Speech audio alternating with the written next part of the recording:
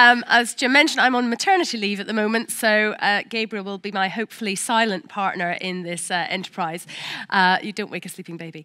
Um, so, so technology and artificial intelligence has been and will transform our world, and can do so as a great force for good. But there is absolutely no doubt that regulation has not kept pace with the change in these technologies. And that is incredibly important because we need to have those structures and those rules. And whether it is the recruitment algorithm that is entrenching the existing bias and discrimination against women, against ethnic minorities, whether it's the YouTube uh, autoplay that shows inappropriate content after Peppa Pig.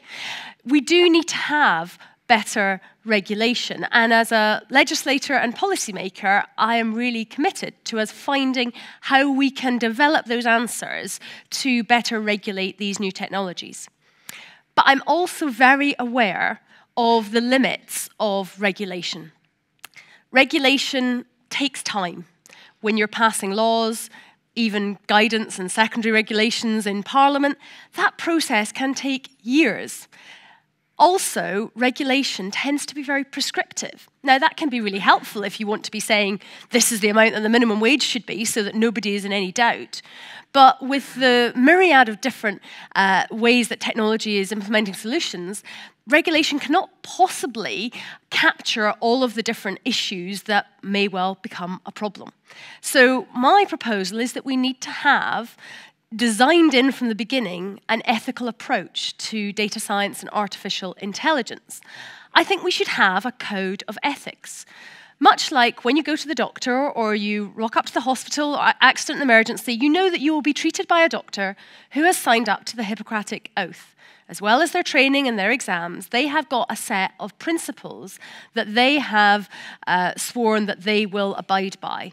And I think to have a similar type of uh, code of ethics for those involved in programming, in data science, would be a good way to embed those principles at an early stage.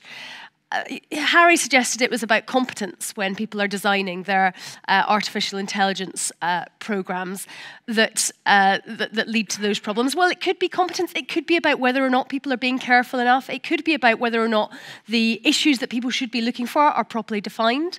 I think the issues of transparency are incredibly important because without transparency, it is very difficult to have accountability.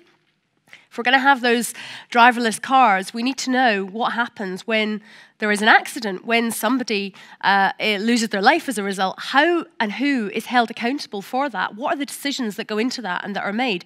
We need to be able to understand what has gone on, what has happened.